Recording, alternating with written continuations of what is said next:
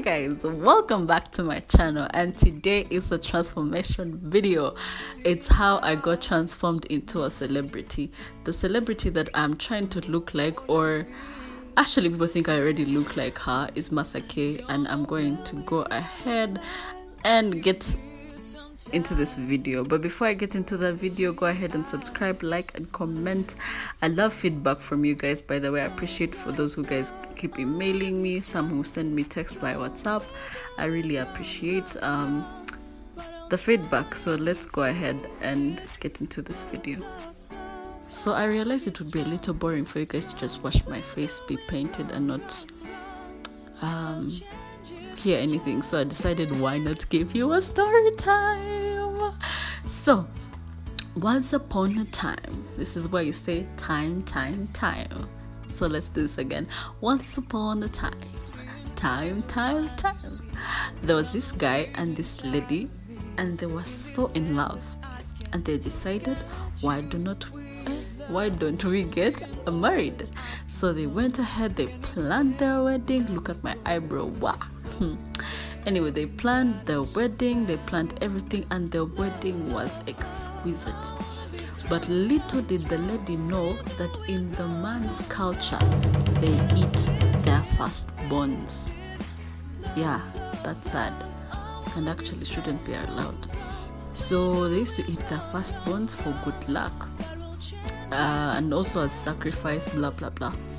So, anyways, uh, they went on ahead. They had um, a child. When they had their firstborn the parents of the boy kept calling of the man kept calling asking them oh when are you guys going to come? You need to come blah blah blah. Little did this girl know it was about to be her son's feast. They're about to feast on her son sorry to say. So she just you know mother's instinct. She didn't feel like it was the right thing to do. So she did she kept pushing the debt of um, going to that village. So one time she was tired of all these calls and daily talks of how she had refused to take their grandchild to see them. So she decided you know what? It's okay. I'm bringing your grandchild over this weekend grandma was very excited. She was like, wow, it's amazing.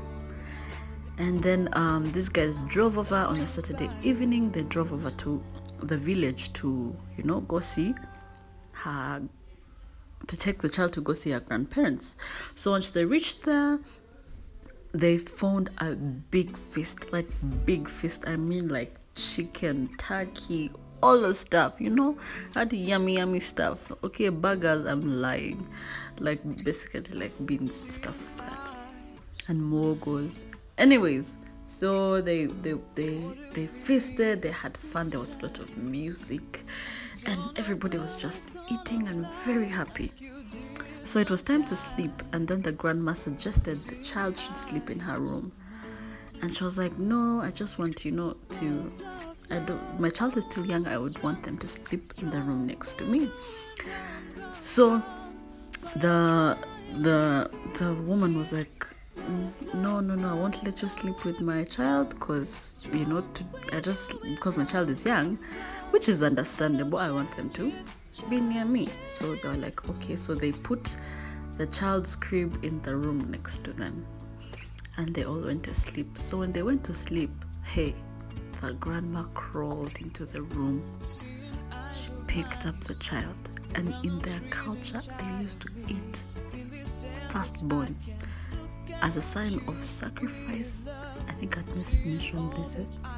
I wanted to sound creepy as a, a way of sacrifice and you know all these creepy creepy things you know so she got the child and you know boiled the child horrible, horrible, horrible, you know, horrible things, you know.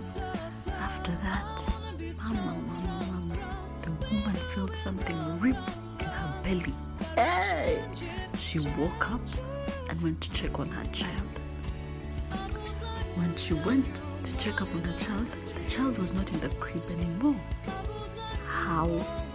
where could have the child gone? She wondered. So she walked around the house. Nga, my friend, she is looking everywhere to see, and she kept calling for her child. And then she heard a noise in the kitchen, and she went to trace that noise.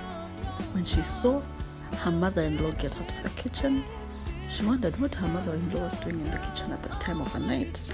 So, do you know what she did? She waited for her mother in law to move and she thought, oh, maybe, probably they're together. So she waited, she waited, and her mother in law got out, went to the next room.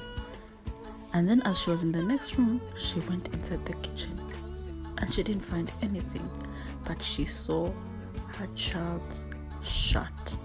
My God. So she was like, What? What's my child shirt doing here? And then she opened the, the saucepan to see what was cooking, and guess what was cooking? Her child. My goodness. What? Fire upon the mountain. The lady was so scared. She ran out of the kitchen and ran as fast as she could. You know, when she reached the main road, she had people calling out her name. She knew her, yeah, yeah. They have known that she has gone. And you know what she did? She saw a house nearby, and then when she reached that house, she she knocked, and missionaries were the ones who used to stay there at that time. They opened for her, and she told them part of the story, and begged them to hide her, and they did hide her. She told them all that had happened the next morning, and they helped her get into the next bus into the town.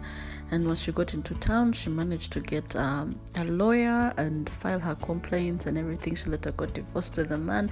That's the end of the story.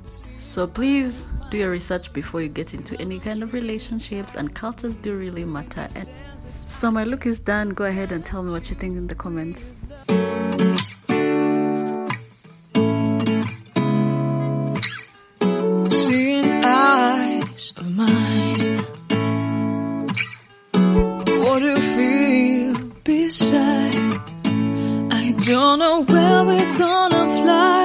You did sometimes.